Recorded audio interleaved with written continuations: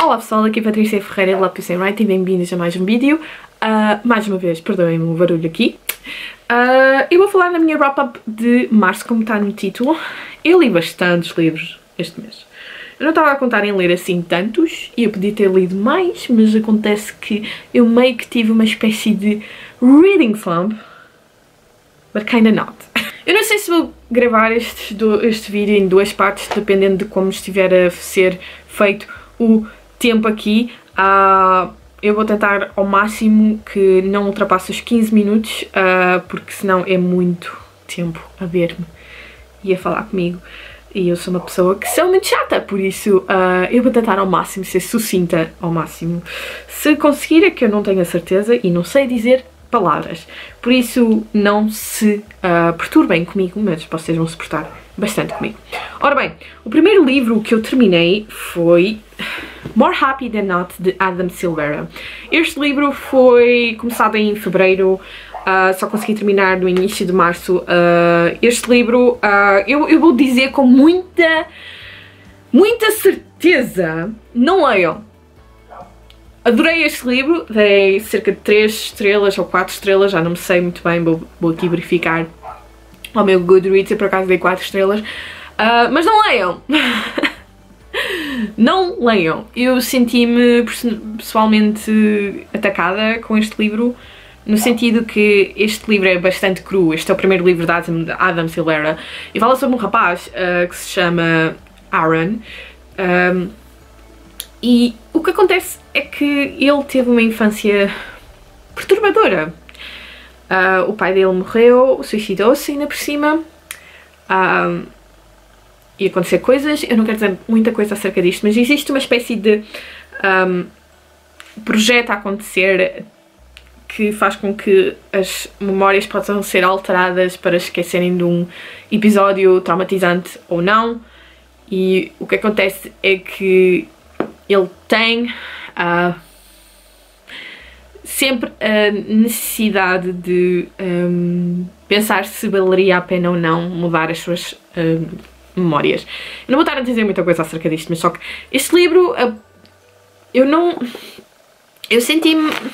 Eu não tenho palavras para descrever da maneira como é que eu me sentia acerca deste livro. Uh, eu acho que está bem escrito uh, para a altura em que ele escreveu este livro. Uh, para agora não está, eu não, não, concordo assim tanto agora com esta dicotomia e se ainda existe este tipo de pensamentos, eu penso, peço desculpa se estou errada, mas eu penso que já não existe este tipo de sentimentos e uh, eu acredito que o nosso mundo mudou de uma forma tão positiva e tão incrível uh, que eu não acredito neste livro e sinceramente eu sinto-me atacada por este livro Opa, é, é perturbante, é perturbante. Na minha opinião, este livro é perturbante.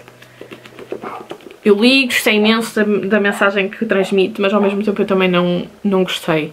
Porque eu senti uma raiva, uma raiva inexplicável ao ler este livro. Um, e, e não gostei.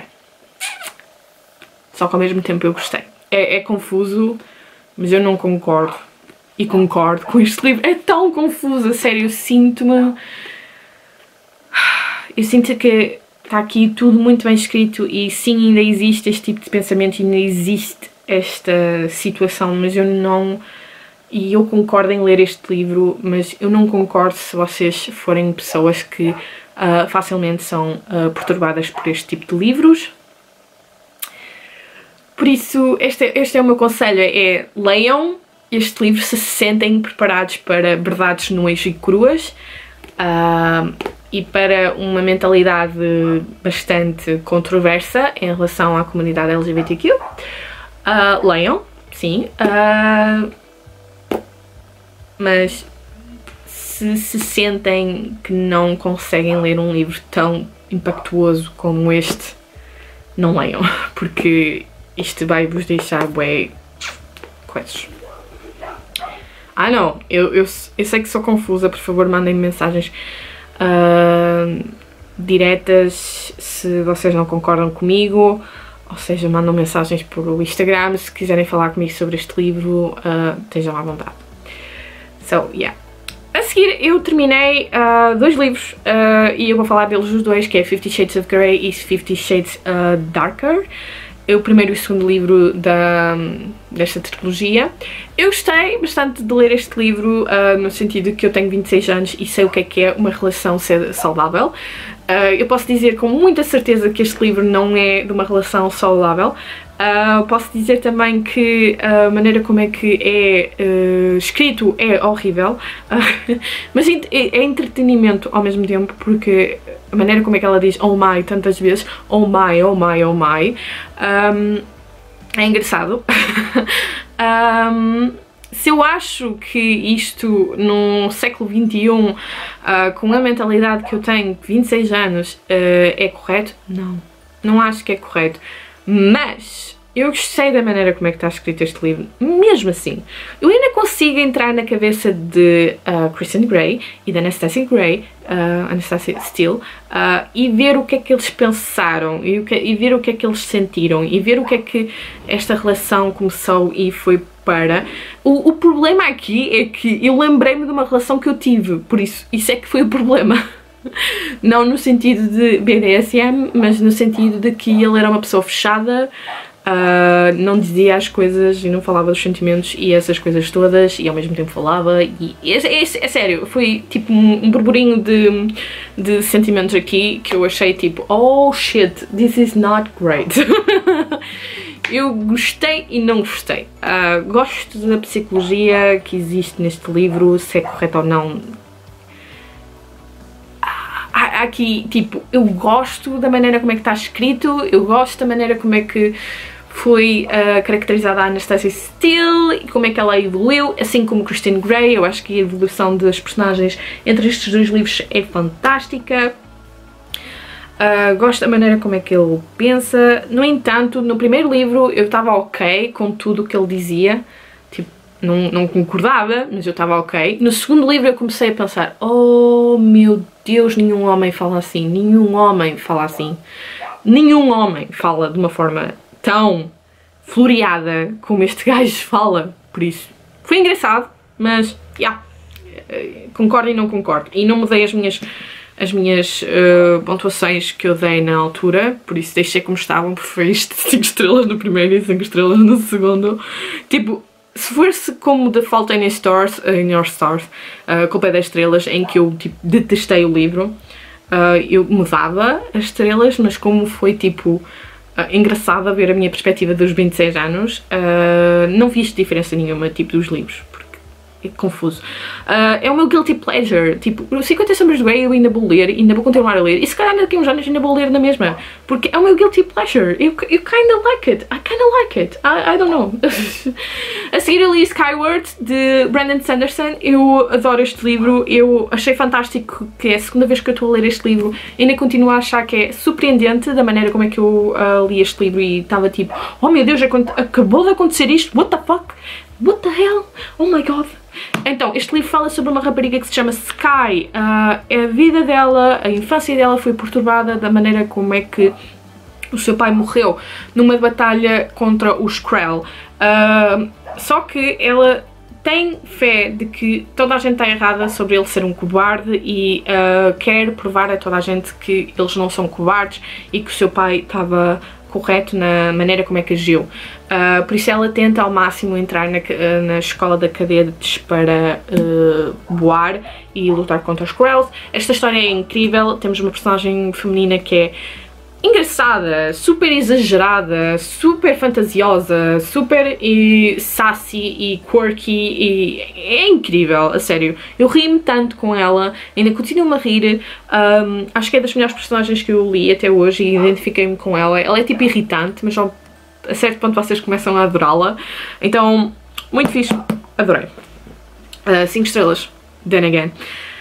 Ah, a seguir eu li Muse of Nightmares, eu não vou tirar o livro porque tenho medo de ficar sem mais tinta naquele livro. Uh, Muse of Nightmares é o segundo livro da Strange Dreamer, eu adoro Muse of Nightmares, não tenho nada a comentar em relação a este livro que eu já não tenha comentado antes. Adoro esta história, adoro a maneira como é que evoluiu as personagens, como é que houve diferenças de personagens e houve caracterizações character development, ou seja, o personagem de desenvolvimento e essas coisas todas, um ambiente diferente, sim, adorei, fantástico. Não tenho mais nada a acrescentar que eu não tenha acrescentado antes, por isso isto foi só para recordar, porque eu quero ler Dr. Smoking Dr. Smoking Bone uh, again e queria-me recordar dessa história antes de ir para Dr. Smoking Bone. So, yeah. A seguir eu li The Startlessy, este livro demorou-me mais de um mês a ler, um, foi-me dado pela Marisa. Marisa, peço imensa desculpa, eu não faço ideia do que é que se trata este livro. No sentido de que eu não sei o que é que é, o que é que se passa, o que é que se passou neste livro. Eu adorei este livro, mas eu não gostei deste livro. Eu tenho mixed feelings acerca deste livro. Temos uma personagem principal que supostamente eu não sei, uh, entra neste mundo e uh, eu não sei. Uh, temos um romance que poderia estar melhor tratado, melhor figurado, mas não está. é muito confusa esta história. É tão confusa. Eu não. Eu tipo eu li porque apreciei a leitura, apreciei a maneira como é que está escrito, as histórias que existiam no meio, tudo isto e tudo mais. Se eu achei que fosse bem feito, não! Se eu achei que foi incrível, não! Se eu achei que ia dar mais que 5 estrelas, não! Ainda continuo a achar assim. Infelizmente, ah, foi um flop. Foi um flop, gostei na mesma, gostei da história, se eu gostava que tivesse mais bem desenvolvida, sim. Se eu gostava que fosse mais bem compreendida, sim. É que eu não faço ideia do que é que se trata esta história. O mais incrível é que o plot está all over the place, as histórias estão all over the place. Sim, é uma espécie de puzzle, a história toda, e sim, compreendo a linha de pensamento que a autora utilizou, mas eu não consegui gostar, e peço imensa desculpa, só que não é o meu of tea. O meu livro, tipo, favorito não pode ser assim escrito. Eu gosto deste tipo de de histórias, mas isto foi exageradamente feito desta forma que eu não consegui gostar. Uh, gostei, só não gostei. E tipo, oh my god, eu estou tão confusa em relação a este livro, juro-vos. Eu não consigo dar a pontuação, eu não vou dar a pontuação nenhuma a este livro. Este livro é aquele tipo de livros que vocês têm que, vocês têm que apreciar este livro. Uh, só que eu apreciei e consegui apreciar este livro e a maneira como é que está escrito é muito bonito. Se eu adorei, não, não adorei. Foi uma dor de cabeça e só de pensar nele eu ainda tenho uma dor de cabeça. Ainda assim. So, I'm so sorry. A seguir, e por último, o último livro que eu vou falar aqui é The Fifty Shades Free. Se eu gostei dos dois livros, dos últimos dois livros, o primeiro e o segundo, gostei. O terceiro livro eu achei que fosse muito... Um, sexo em todo lado. Em todo lado. Mas tipo, em todo lado. Se eu achei que era necessário haver um terceiro livro, não, não achei que fosse necessário o terceiro livro. No entanto, eu até gostei deste terceiro livro. Se eu achei que foi exagerado, puta que pariu foi. Uh, e com isto eu vou dizer que dei 3 estrelas a este livro porque este não tinha pontuação anterior, então dei 3 estrelas. Porque eu até gostei, mas só que tipo, exagerado para o caraças. Por isso, já, esta é a primeira parte deste vídeo, espero que tenham gostado. Uh, a próxima vai ser mais engraçada porque vai falar de Crescent City. Estejam atentos. Bye!